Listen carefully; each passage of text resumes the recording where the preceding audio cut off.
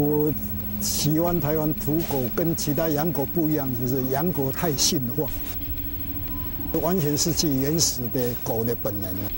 那台湾土狗还保留有本能。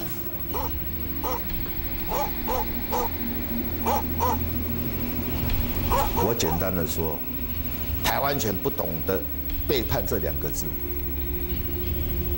是我们人类会抛弃它们。在养犬和混种狗充斥的现代环境，你留意到这样的身影吗？台湾犬是最早在台湾居住的原始犬品种，活跃于台湾山林。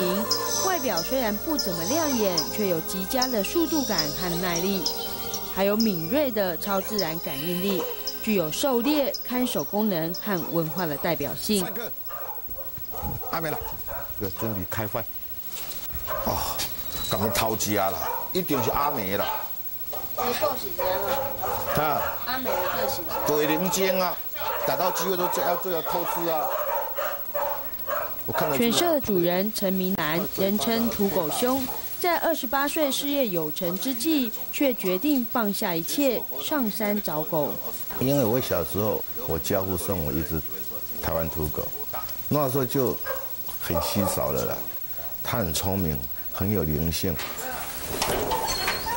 只为了重温儿时记忆，陈明南足足花了十一年的时间，才在新竹五峰的山区找到第一只心目中的台湾犬。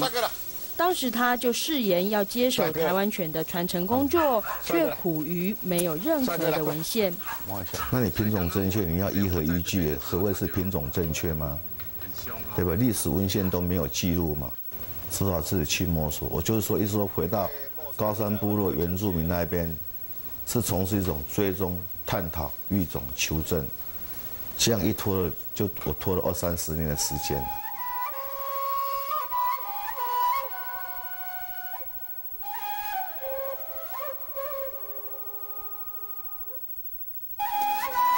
谨守着物种富裕的伦理。二十多年来，土狗兄仅培育出几十只纯度高的台湾犬。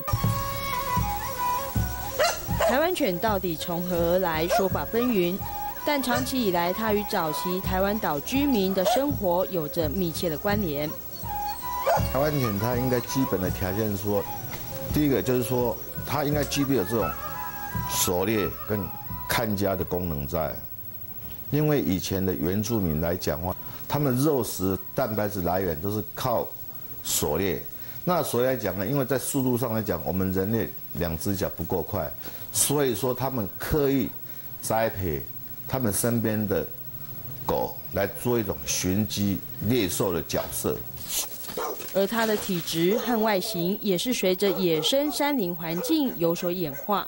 在高山部落从事这样一种野外的那一种活动。它必须适应那种地形地势，所以说台湾的台湾犬的体型不是很硕大。台湾犬它 弹跳、弹跳、攀登的动作，我想就跟野就像跟野生动物一样，有那种很灵敏的、很利落的、很矫捷的那种速度，而且它的耐耐力要够。一般来说，短毛、竖直的耳朵。还有一把像镰刀的尾巴，常是外界认定台湾犬的几项特征。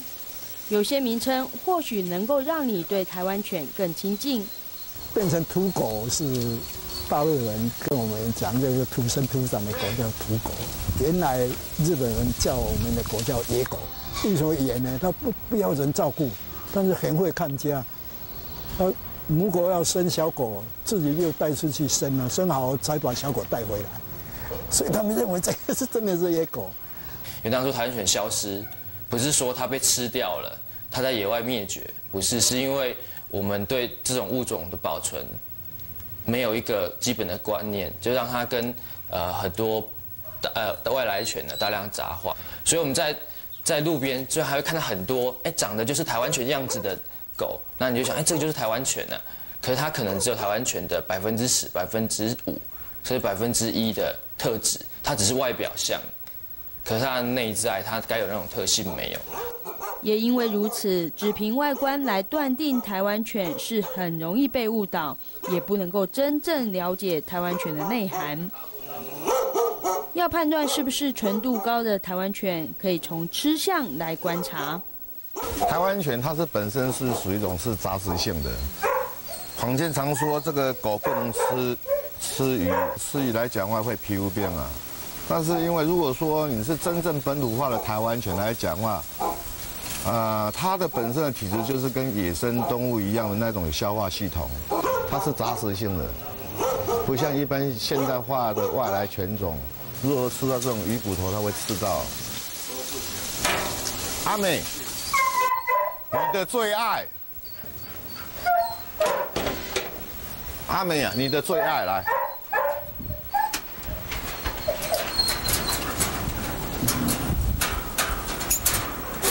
来，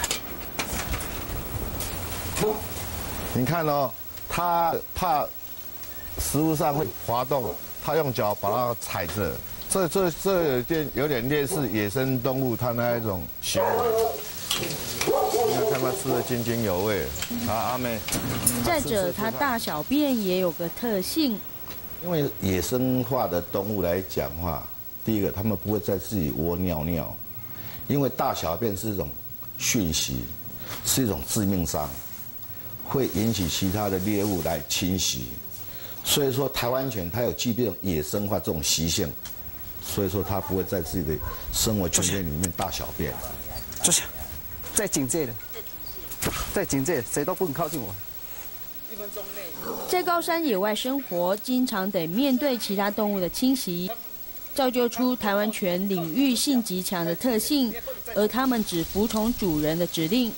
为了表现台湾犬护主忠心的程度，犬友们冒险做事挑衅。这不能再靠近了，再靠近它的地盘，它就可以咬。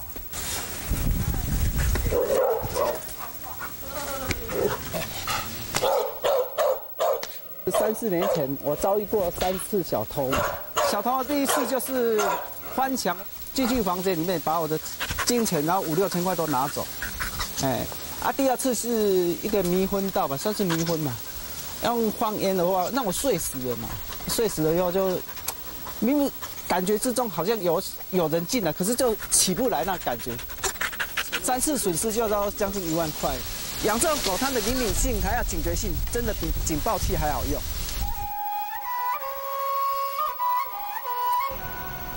台湾犬固然具有原始野性，但它同时也有感情细腻的一面。几年前，因为家中的鸡频频遭窃，尤先生于是向陈明南购买了一只台湾犬。Lucky 来之后，不但尽责的扮演好看家护主的工作，更成为田间的好帮手。我即摆咧找鸟鼠啊，啊，认真要夹鸟鼠啦。啊，我这田哦，本来鸟鼠拢夹甲足开啊。这两分外地哦，挂无三百斤的车啦，无三百大斤哦。啊，即摆伊拢会足个足个甲夹鸟鼠哦，夹到即摆这田拢无鸟鼠。阮即摆田我你看这拢无鸟鼠，你安尼夹着鸟鼠一只两斤外，看了你会惊。它更是一家人生活的润滑剂。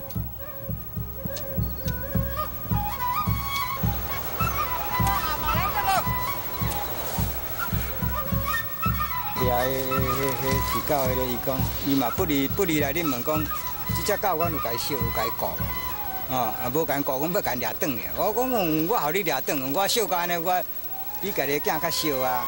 一工爱食两支鸡腿，笋袂食，伊也先食。哦，伊现现在你的心目中，在我心目中看伊的地位偌悬啊啦。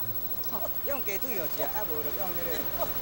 对许多狗主人来说，台湾犬不见得是他们养的第一只狗，却在他们生命中留下难以抹灭的记忆。因为台湾犬它难能可贵是它是多功能的犬种，它不像有的狗是可能它比较适合警戒，那它对大部分不认识的人来说都是有威胁性。可是有的狗呢，它只是陪伴的功能，它贺阻力不强，那你养了它之后。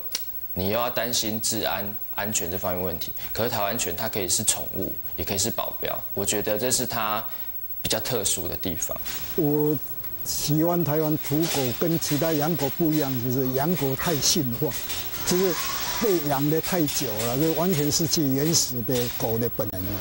那台湾土狗还保留了本能，所以这个特点是应该我们值得骄傲的。不论是功能性或历史文化的内涵，说起台湾犬是人人夸赞，但却得面对它濒临绝迹的事实。在这张相片呢。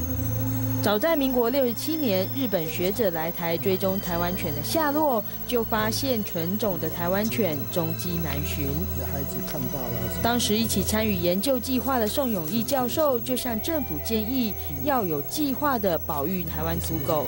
但事隔三十年，等到头发都白了，还是等不到回音。几个县市。这个东西它又不是产业动物，像产业动物猪啦、牛啦是都在做啊，现在在界定黑毛猪到底要什么样的血统，它是可以有蛮大的产业在动，但狗没有啊，所以狗想这样做是比较难的。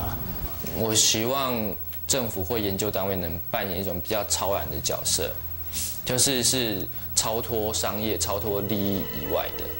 就拿我们邻近的国家日本来说，他们可能会把他们一些特殊的犬种，然后给他们一个天然纪念物的这个封号，然后这个应该说这个阶级这个头衔。那一般人对繁殖这种犬犬种的工作，就会把它视为比较神圣的工作，而不是纯粹商业的工作。对我觉得单靠单靠民间个人的力量是不够的。